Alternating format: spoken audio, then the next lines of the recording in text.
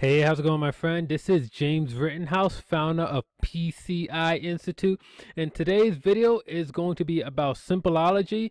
Um, we're going to be doing a quick i'm going to be doing a quick review video on simpleology though.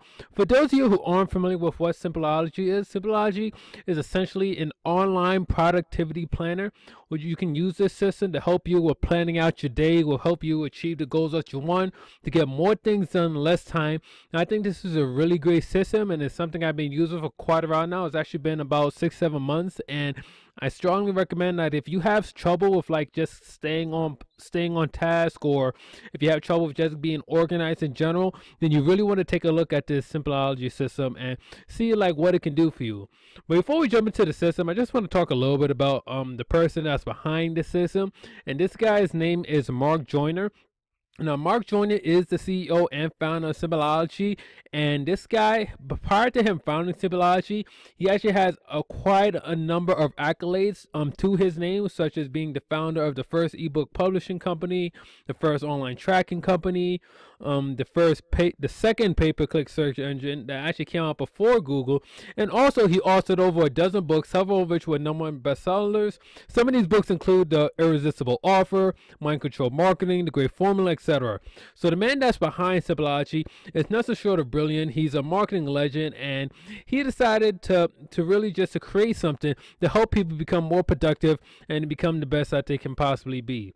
So for that being said, we're just gonna hop on over real quick to Simpleology, and I'm gonna show you how it all starts really. And it really starts by um clicking the whole start my day thing. So from Start My Day, the first thing you see is the morning brainstorm. Now over here in the morning brainstorm, what you can do is you can just go and you can just like write down like different things that are like on your mind, such as big things, small things, little annoyances, things you want to get done that day, whatever the case may be. So you just go and you write like a couple of things down. You hit the next button. From there, you go on to the Stay Focused module. Now over in the Stay Focused module, now over here, I've actually already went through the trouble of defining of what my major focuses are.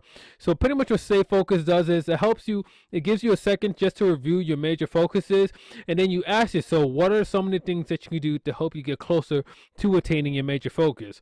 So after you jot down a couple of different ideas, you hit the next button again, you go to recurring task. So pretty much recurring tasks are just a special list of tasks that you want to be delegated. So let's say like you want to go, let's say like I have something over here, like I want to click, I want to read for 15 to 20 minutes a day. So I just click on it and boom, it's a copy to the brainstorm list. So right now, really the key here, like this is the entire brainstorm section. So really only thing you're doing here is just jotting down different ideas based on the questions that the system asks.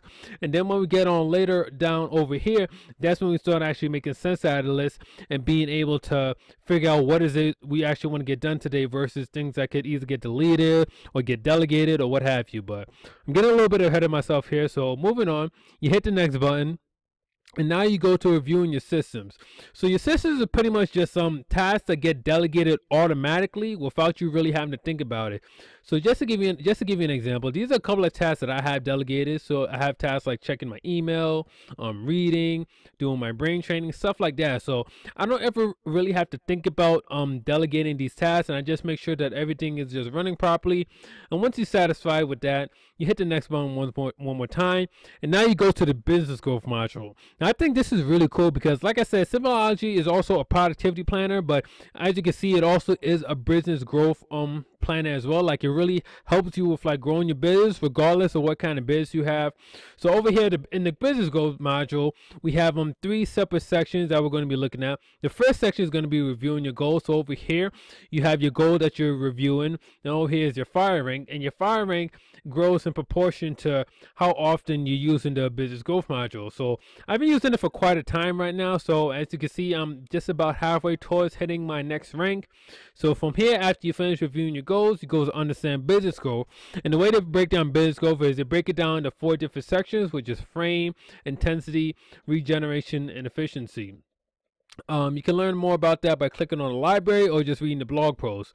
And finally, go to brainstorm improvement. So, based on um what step that you're on, you um pretty much brainstorm now what it is that you want to do in regards to that step for your business. So today is about regeneration.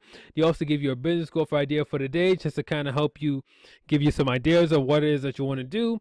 So after you're done with that, you click finish the rest of my day, and now you go into the reserve and change module. Now over here in the reserve and change module, it breaks down into four different subsections. Now today's focus is going to be on energy, but you can focus on one of three things, which is your time, your money, and your energy. So in the first substep, since we're focusing on energy for today, we're gonna figure out we're gonna you're gonna look back over your day and just figure out what has been like a leech on your energy. And this could be different for different people. What may be a leech on your energy for you may not be for someone else. This all pertains to what is um like what pertains to you specifically specifically i should say um, you go to subset B, which is pretty much on what actions you could take to remove those leeches. And then from C, you click down, you identify the energy boosters, the things that actually boost your energy.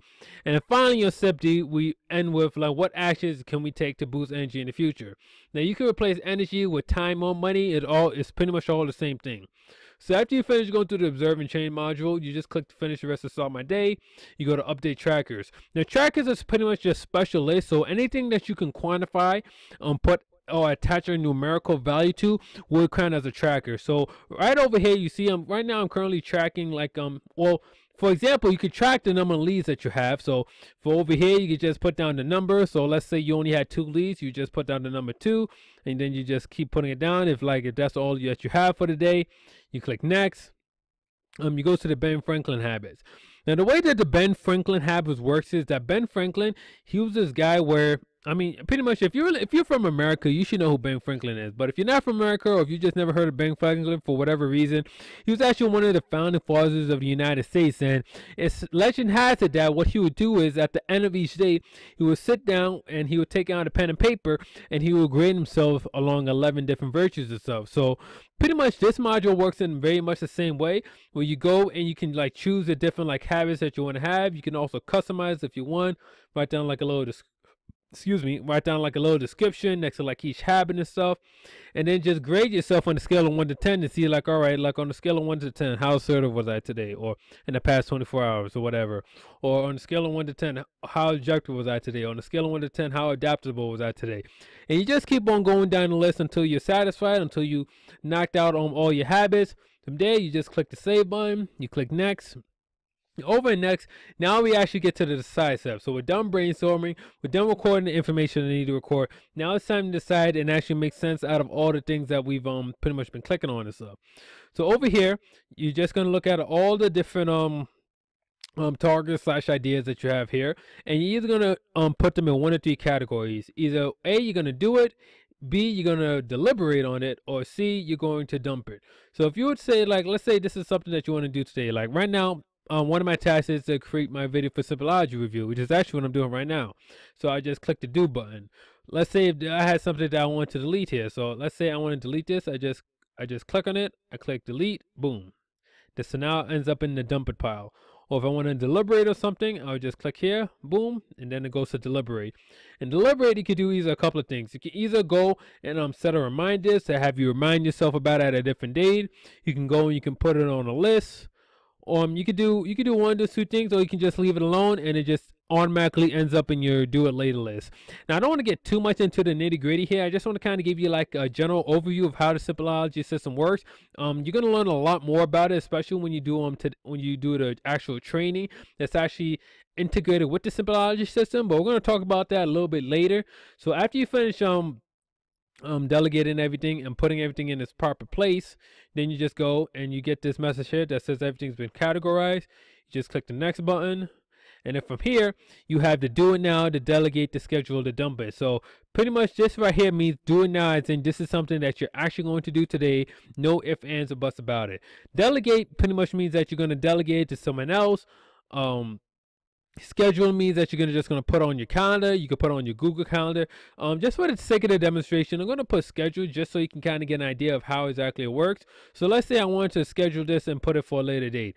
I'll just press the next button So over here, you go to create video for the review, and from here you can either add the task manually, you can download the iCal file, which works with most calendar softwares, or you can go to add to MS Outlook or Google Calendar. I strongly recommend using Google Calendar because I think that's just pretty much the most straightforward. It makes things really easy. There really isn't too much, too many things you have to click. So you just go to Google Calendar, you set the the time and day. So let's say I wanted to make it 1:30. You press done add date and time.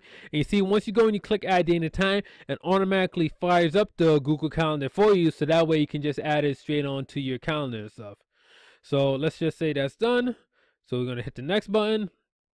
And now, actually, now what I should have done is, um, I should have demonstrated how the priority module works. So Actually, I'm just going to go over here to the view just so you can guys get a better idea of how the prioritizing works. You can also read this blog post as well. This also um does a really good job of explaining how anything works in case it's something that you missed in the video, something you didn't quite understand. So over here in the prioritize module, you can actually prioritize your targets after you finish choosing what it is that you actually want to get done for the day. So over here for prioritize, there's actually three different um Oh, ways you can prioritize your targets or the things you want to get done for the day. You can either use freeform where you're just able to drag things into its proper order. You can use a high impact minimal effort where on a scaling 1 to 10 you can grade how much of an impact this thing would have on your life versus how easy it would be. It does the multiplication and then it gives you a, a Jaime score. So pretty much the higher the Jaime score that means the greater the impact and the, and the, and the less the effort that it has. So a higher Jaime score is better and if you want to do it with the Jaime way, then I strongly recommend doing the things with the higher Jaime score first and then just kind of working your way down the list. And finally, we have the big rock, little rocks, where, oh, excuse me, you go and you, you, for so for each target you pretty much grade its level of difficulty on a scale of 1 to 10 10 being extremely difficult 1 being easy as pie so for people who like to kind of tackle the, the hard things first and the easy things afterwards, or do the easier things first and the hard things afterwards, this is also this is a really great way to kind of just um organize your date so that way you can um adjust it accordingly. And then finally, after you're done with the whole prioritizing, then you just have your list of daily targets. You actually have the list of the things that you want to do. You went through a very specific process just to make sure that you got everything out of your head that you need to get out. And then from here, you end up with just a list of things that are actually going to move you forward, things that actually matter to you, and you're not just doing random things throughout the day. You're actually doing things that are actually going to help move you forward and progress you forward. So um afterwards, um I want to also want to talk real quick about um, about the dojo. So the dojo, pretty much what the dojo is, is that um it, it has like a belt system where for each belt, you're going to learn a specific skill related to the simpleology system. So starting with the white belt, you have the morning brain up in the side.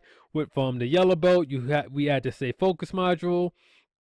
Then there's basic Kankyo Kaizen. You'll learn more about that later when you get to your orange belt training.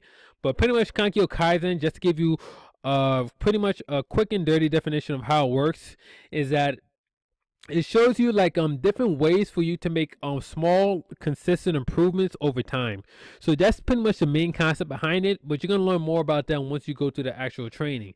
And after that we have the prioritize which is which you get them in the amber belt training then after the amber belt training is the purple which is when you add the observe and change module then afterwards you learn how to use the dream catcher via sms and email by the way this is the dream catcher just in case i know i didn't quite go over that just yet but pretty much what the dream catcher does does is like, let's say as you're going throughout your day and you're working on some stuff, and all of a sudden, out of nowhere, you just have an idea that just pops up in your head out of nowhere, but you're in the middle of doing your work right now. So what you do is you go and you fire up your dream catcher. You just type whatever idea you wanted to type. You press enter. Now it's saved in your Simpleology system. You don't have to worry about losing that idea, and now you can go and just focus on the things that you were doing before, and then you can always go and get back to that idea back when you go and you do start my day all over again in the morning. So Dreamcatcher is by far one of my favorite tools, so I definitely recommend you should make good use of it. Um, after you go to the Dreamcatcher, you're going to learn more about how like the list function works. Then from the list, you're going to learn more about engines. Then um, you're to learn how to use the stuff I want plus the backward planner. Um, real quick, just uh, the backward planner um, let's say you have a goal that you want to hit. So this will be the goal right here. So what you want to do is you want to imagine what is the thing you'd be doing before you hit that goal. And then you go and you write that down. Then you imagine the thing you'd be doing before that and you write it down. So pretty much what you're doing is you're engaging your imagination to imagine the very thing you have to do before you actually, before you pretty much you, you're working backwards like which is why it's called a backward planning you're working backwards from when you actually finally hit your goal and then you're taking logical steps backward all the way back to where you are right now. So now you have a very clear way of how you need to go about um, achieving your goal or your focus or whatever the case may be. So that's just a backward plan in a nutshell. And finally we have the delegation um um belt which is i mean the black belt which is where you learn more about how to delegate. And this is where you're going to learn about how to use the projects. Um real quick the projects is based off um um Kanban and Kanban is um the agile methodology so pretty much you have um these cards over here and each one of them represent like a unit of work information. So they're really good for um create so when you have like a really complex project that you're working on you can just go it's a really neat way for organizing the information. You're going to learn a little bit more about that in the black belt training. I'm not going to go too much into that right now. And also the delegation station um, pretty much uh, as the name suggests, it allows you to um delegate certain tasks to other people. So you just click on the delegate station over here, and we're just gonna wait for this to finish loading. It looks like it's uh there we go, it's downloading. So you just press the plus button to delegate to delegate a task, write a quick description, some comments, add some attachments, and then you just add the name of whoever it is you want to delegate um the task to. Now, just um a quick note here: in order to delegate a task to someone else, they have to have a simple they have to have a Simpleology account as well. You can't delegate tasks to people that don't have a Simpleology system.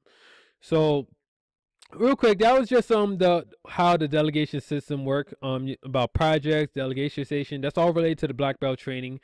Um, over here we got the Simpleology systems, which is um tasks that get delegated automatically so i have a couple of systems over here that i use to to kind of just run my life and stuff to make sure that i'm staying on top of everything especially when it comes to business because i'm sure as you know like if you've been in business for any length of time it's very easy for things to kind of like slip away from you or not to get around to things but once you're able to just automatically delegate the things that you need to get done it just makes life a whole lot easier whole lot easier. And this is pretty much um how a system looks at, where you pretty much have the what, which is what needs to get done, why it needs to get done, when it needs to get done, who who created the system, how it's sourced, and then the different tasks that are associated with that specific system.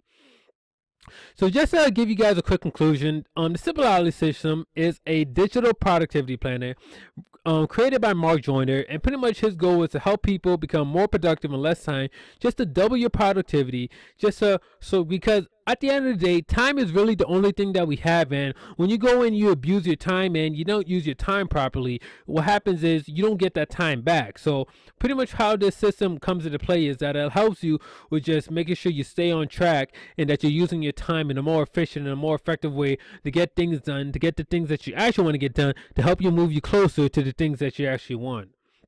So that's pretty much it in a nutshell, guys.